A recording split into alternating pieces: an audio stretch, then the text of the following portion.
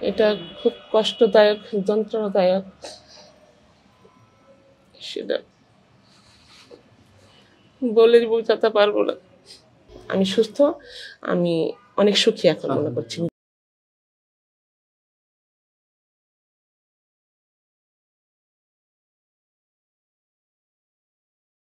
আসসালামু আলাইকুম। দর্শক, কেমন আছেন আপনারা? আশা করি সবাই ভালো আছেন এবং সুস্থ আছেন। আর্থ্রাইটিস এটা এমন একটা জিনিস, যখন শুরু হয়, অনেকের ক্ষেত্রে দেখা যাচ্ছে খুব অল্প একটু ব্যথা দিয়ে শুরু হয়, যার আগে থেকে কোনো সিনড্রোম বা কোনো কিছুই থাকে না। বাট হঠাৎ করেই যখন এই ব্যথাটা প্রকট আকার ধারণ করে, একটা মানুষের ঘুম, নিদ্রা, সারা জীবনের যে কর্মকাণ্ড সব কিছু মনে হতে থাকে আমি জাহান্নামে বসবাস করছি, এরকমটাই মনে হয়। কোনো কোনো ক্ষেত্রে আমাদের কাছে এমন পর্যন্ত পেশেন্ট আসেন, ব্যথার যন্ত্রণা সহ্য করতে না পেরে পর্যন্ত বলেন যে, এই জীবন রেখে লাভ আমি আর কষ্ট সহ্য করতে পারছি না। দর্শক, চিকিৎসা আছে। অনেকেই খুঁজতে থাকেন, চিকিৎসা আছে আমরাও জানি বাট সঠিক চিকিৎসাটা কি? এই সঠিক চিকিৎসাটা খুঁজতে গিয়েই সারাটা জীবন পার হয়ে যায় মানুষের। দর্শক, আপনাদের জন্য বলছি, চিকিৎসা আছে এবং সঠিক চিকিৎসা, যেটা আমাদের এই বাংলাদেশেই আছে। দর্শক, আমাদের এই ডিপিআরসি হসপিটালে এসেছিলেন আমাদের একজন বোন, যার সাথে আজকে আমরা একটু পরিচয় করে দিব আপনার। যিনি অস্টিও আর্থ্রাইটিস এবং রিউমাটয়েড আর্থ্রাইটিস নিয়ে ভুগেছেন গত নয় বছর থেকে। এই ব্যথার সাথে যুদ্ধ। আসুন দর্শক আমার এই বোনের সাথে আপনাদের একটু পরিচয় করে দিই। কী ধরনের সমস্যার সম্মুখীন হয়েছিলেন এবং আজকে চিকিৎসার পরে উনি কেমন আছেন? পুরো বিষয়টা ওনার কাছ থেকে আমরা প্রথম থেকে শেষ পর্যন্ত একটু জানার চেষ্টা করব। আসসালামু আলাইকুম। ওয়ালাইকুম আসসালাম বোন কেমন আছেন? আলহামদুলিল্লাহ ভালো আছি। আপনার বাসা কোথায়? আমার দেশের বাড়ি জামালপুর। জামালপুরে কোথায়? দেওয়ানপাড়া থাকতাম জামালপুর সদরে। সদরে। আচ্ছা হাউস ওয়াইফ তো? জি হাউস ওয়াইফ আপনার নামটা যদি একটু বলেন। নাসিমা সুলতানা ডাক্তার নাসিমা সুলতানা। আচ্ছা কয় সন্তান আপনার? এক ছেলে এক মেয়ে। এক ছেলে এক মেয়ে, আলহামদুলিল্লাহ। আমরা জানি আপনি প্রায় গত নয় বছর যাবৎ অস্টিও আর্থ্রাইটিস এবং রিউমাটয়েড আর্থ্রাইটিস এর সাথে যুদ্ধ করেছেন। আমাদেরকে যদি সেই সময়গুলোর কথা বলতেন প্রথম যখন আপনার এই ব্যথাটা শুরু হয়েছিল কীভাবে প্রথম আপনার বুঝতে পারেন?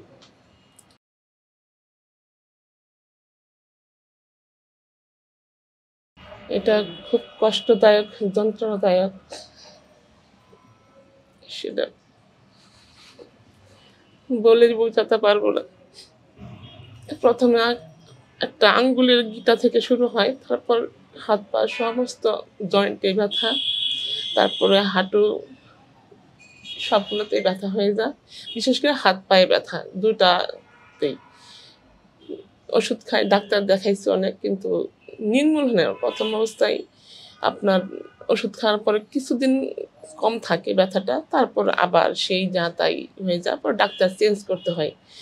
আমি দীর্ঘদিন পিজিতে ছয় বছর যাবত আমার রোগটা হলো নয় বছর যাবত আমি দীর্ঘদিন সেটা হলো ছয় বছর যাবত আমি পিজিতে ট্রিটমেন্ট করাচ্ছি। এই কিছুদিন পর পর ফলাপ তিন মাস, ছয় মাস পর পর ফলাপ আসতাম। কিন্তু ওই একই ওষুধ হতো একটু পাওয়ার কম বেশি করে দিত, কিন্তু তারপরেও কিছুটা স্বাভাবিক থাকলেও খুব কষ্টদায়ক। তা আমি এসএ টিভিতে এই প্রোগ্রামটা দেখতাম ডাক্তার শফিউল্লাহ প্রধান স্যারের। আমি তখন থেকে আমি মনে করতাম যে আমার এখানে যাওয়া উচিত।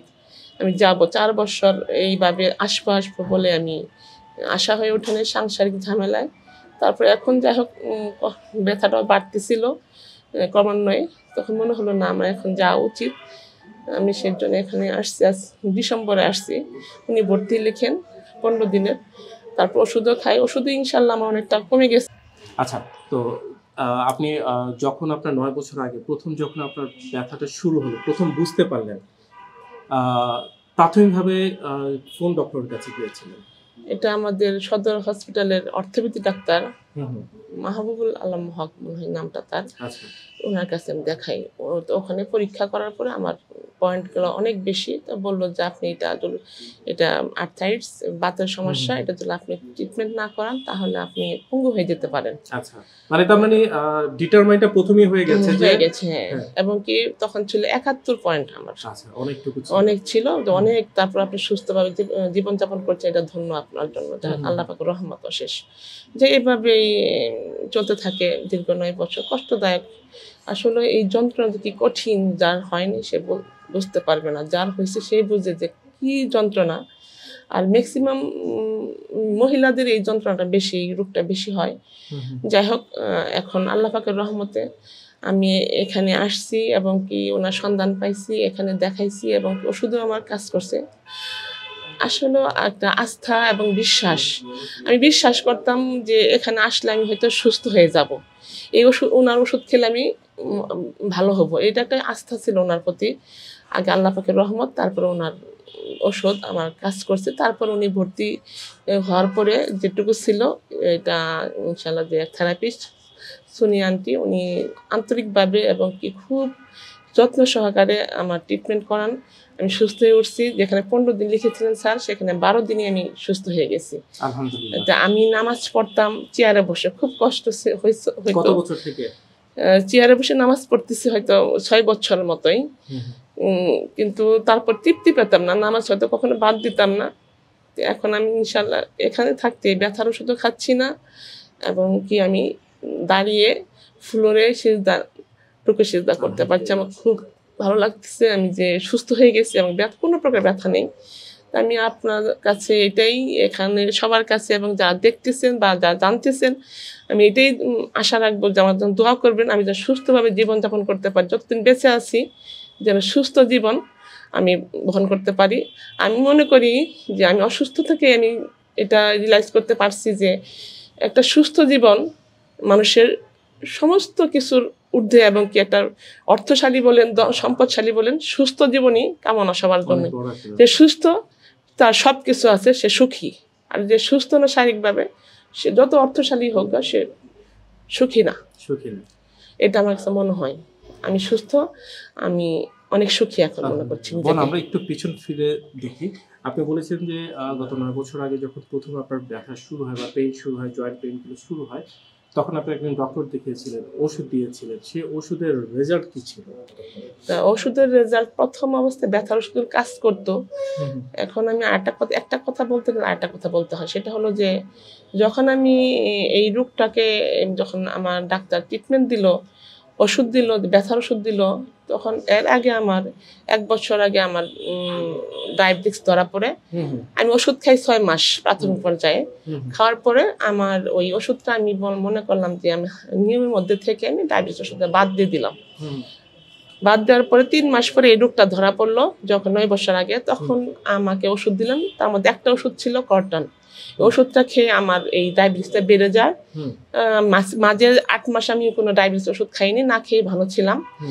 যখন এই ওষুধ কটন খেয়ে আমার এই রোগটা বেড়ে গেল তারপর থেকে আমি ওষুধটা আর বাদ দিতে পারি না ডায়াবেটিস ওষুধ কন্টিনিউ খেতে হচ্ছে। হয়তো অল্প নিয়ম মাফিক চলি কন্ট্রোল আছে একটা ওষুধ মুখেই খাই দুপুরবেলা। যাই হোক আমি তারপর থেকে চেঞ্জ করতে থাকি ডাক্তার একটার পর একটা। আর ভয় লাগে যে কোন ডাক্তারের কাছে গেলে কোন ওষুধ লিখবে হয়তো আমার আবার অন্য রোগটা বেড়ে যায় কিনা। যাই হোক এইভাবেই চলতে থাকে। তারপরে বিশ্বাস রেখে আমি পিজির ওষুধই খাচ্ছিলাম। ছয় বছর যাবৎ। হয়তো পাওয়ার কম বেশি করে ওষুধ চেঞ্জ করে দিয়ে দিয়ে তারপরও পুরা সুস্থ ছিলাম। স্বাভাবিক। মনে করেন যে ওষুধ খাওয়ার পরে যদি একটা ওষুধ ব্যথার ওষুধ রাত্রে না খেতাম আমি দিনে ওঠার ক্ষমতা রাখতাম না আমি আমি উঠতে পারতাম না চলতে পারতাম এতটা খারাপ অবস্থা ছিল। কিন্তু ওষুধ খেলে রাত্রে ব্যথার ওষুধটা খেলে আমি সকাল হতেই স্বাভাবিক জীবনযাপন করতে পারতাম। আমি বিকাল হলেই আবার অসুস্থ হয়ে পড়তাম। আবার ওষুধ খেয়ে মনে করেন ঘুমাতাম। যাই হোক, এইভাবে জীবনটা কাটতেছে প্রায় তিন, চার বছর যাবত এখন দেখেন আমি এখানে আসছি, আসলে এটা আল্লাহ পাকের অশেষ রহমত, আগে বলব। আর আমি কাছে দোয়াও করি যে শফিউল্লাহ প্রধান স্যারকে আল্লাহ দীর্ঘদিন আয়ু দেখ আমার মতো যারা অসুস্থ রোগী, যারা এই কষ্ট যন্ত্রণা সহ্য করে জীবনযাপন করছেন, তারা যেন ওনার কাছে আসেন এবং কি ওনার কাছে ট্রিটমেন্ট নিলে আমি মনে করি যে বেশিরভাগ মানুষ সুস্থ হয়ে ফিরে আমি তা দেখছি এখানে। আর এখানে হসপিটালগুলো ভর্তি আসলেও আমি ট্রিটমেন্টটা সঠিক পাচ্ছি সঠিক পাচ্ছি এটাই আমার কাছে ভালো মনে হয়েছে যে আমি সুস্থ জীবন ফেরত যাচ্ছে পাচ্ছি আমি বাসায় আমি বাচ্চাদের সাথে থাকব আমি যেন স্বাভাবিক জীবনযাপন করতে পারি এই কামনা করছি। খুব সুন্দর বলেছেন বোন দর্শক শুনলেন এতক্ষণ। এরকম অসংখ্য বোন আছেন মা আছেন বাবা আছেন আপনাদের সামনে এসেছেন। তাদের জীবনের বিভিন্ন ঘটনা বিভিন্ন কথা আপনাদের সামনে এসে বলেছেন। দর্শক দেখুন আমার এই বোন গত নয় বছর থেকে উনি ব্যথার যন্ত্রণায় কষ্ট পেয়েছেন। প্রথমে দেখুন উনি বলতে গিয়ে সেই দুঃসহ স্মৃতিগুলোর কথা মনে করতে গিয়ে উনি একরকম প্রায় কান্না করে দিচ্ছিলেন। আসলে এটা একদিন দুদিনের ঘটনা। অনেকগুলো বছর থেকে অনেক চিকিৎসা করেও যখন সফলতা পাচ্ছিলেন না। দেখুন, যে মানুষটা গত ছয় বছর থেকে চেয়ারে বসে নামাজ পড়ছিলেন, ব্যথার জন্য মাটিতে সেচতে দিয়ে নামাজ পড়তে পারছিলেন না। এখন ওষুধ খাওয়া ছাড়াই সম্পূর্ণ প্রাকৃতিক উপায়ে এখন উনি নামাজ পড়তে পারছেন সেজদা দিয়ে। ব্যথামুক্ত একটা জীবন কাটাতে পারছেন। সারা রাত এখন আর ওনাকে ব্যথার যন্ত্রণায় জেগে থাকতে হচ্ছে না।